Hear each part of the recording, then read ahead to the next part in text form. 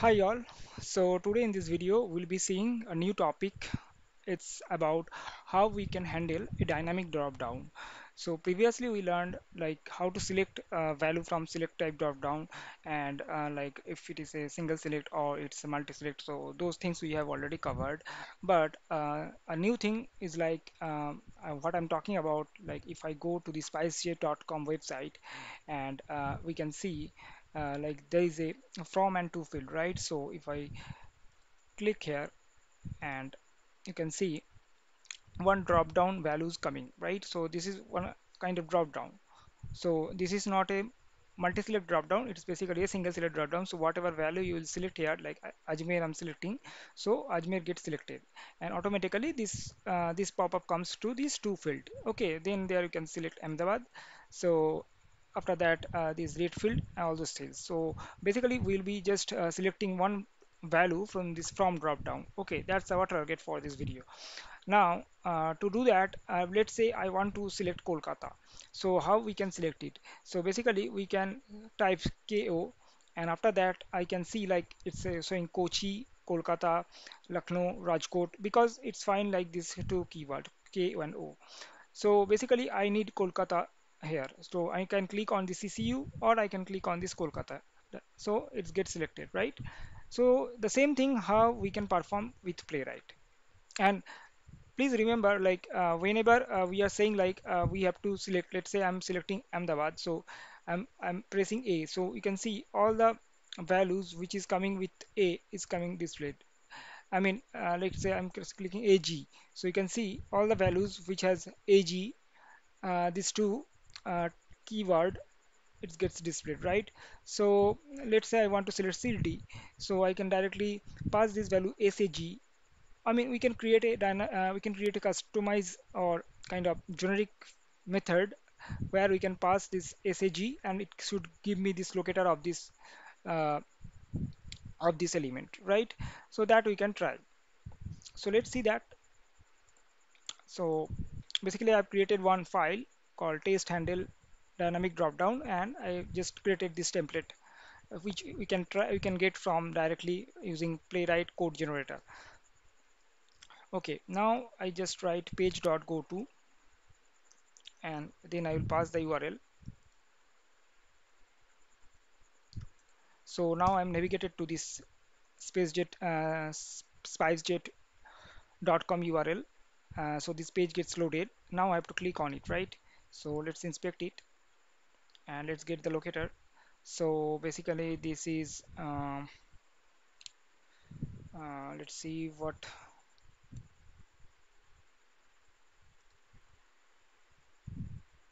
uh, what value we can get it. So we can uh, use something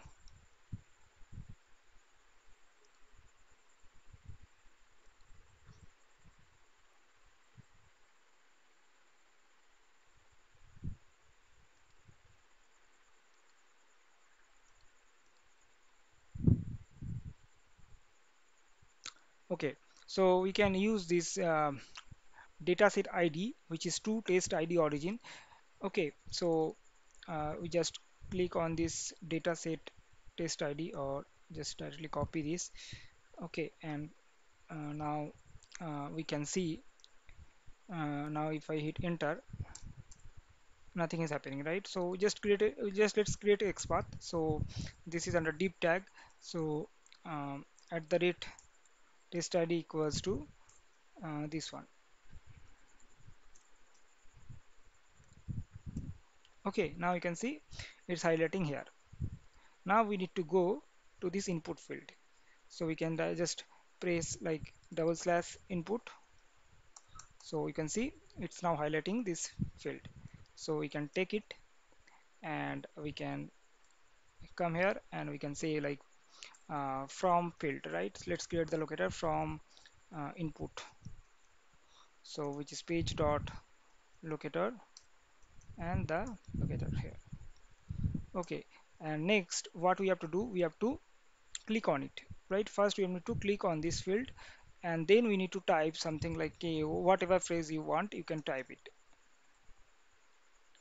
Okay now uh, let's um, do this click. So from input dot click.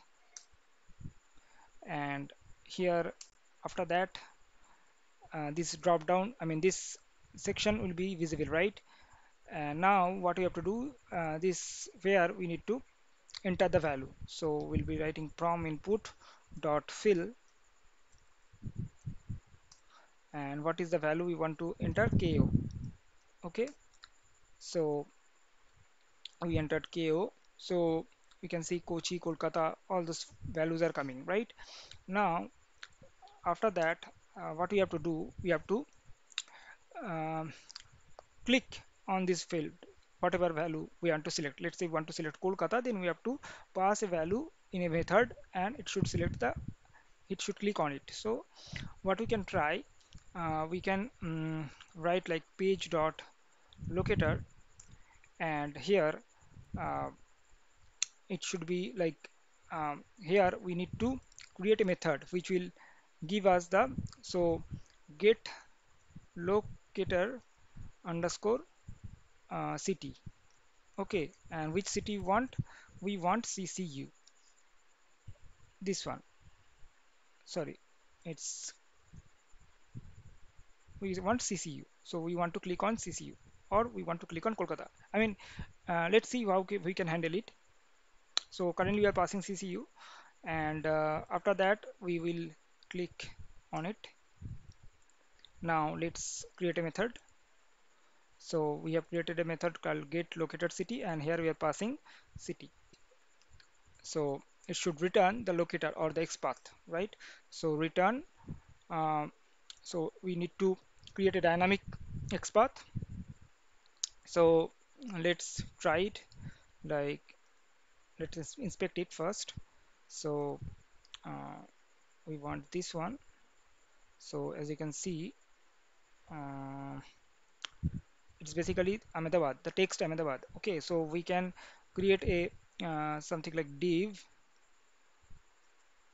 uh, text equals to uh, Ahmedabad or Kolkata right so we got Kolkata. And uh, here we can also try like whether CCU is working or not. So you can see CCU is also working. So both these uh, both of these um, things is working. So we can just copy it and paste it here. Return. Um, so let's create if, f string. And here what we'll be doing we'll be passing uh, the city. Okay so we just created a dynamic XPath where we are passing this city from this method.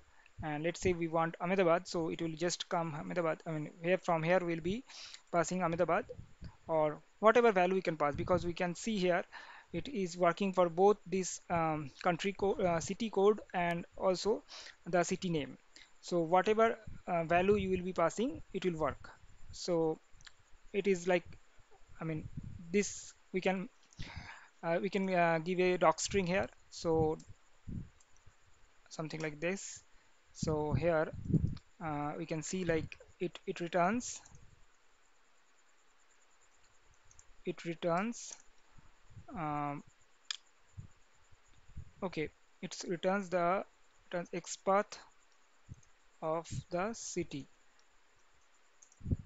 parameter city uh, uh, pass city name or city code. Okay. So we just created one doc string here and now you can hover over it. So you can see it's saying like city pass city name or city code and returns it returns XPath of the city. Okay. So this is our um, generic method which we have created and we are passing CCU and then we are clicking on it right? So now let's see whether it's working or not. Okay. And uh, we can go to the terminal. And now let's run it.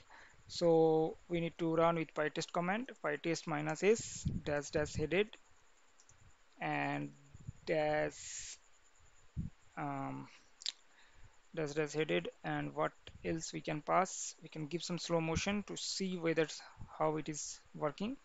Slow mo equals to one second. Okay. And now uh, select the method right? Uh, select the file. So basics and test um, handle dynamic drop down. So let's see what is happening now.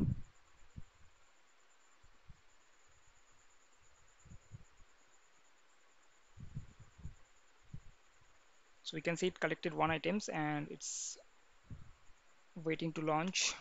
So you can see spicejet.com is getting launched and it's waiting for this locator. And let's see whether it hits click on this. Yeah it clicked. It's entered KO and you can see Kolkata got selected right okay so now let's pass Kolkata here. Okay so now let's run it once again.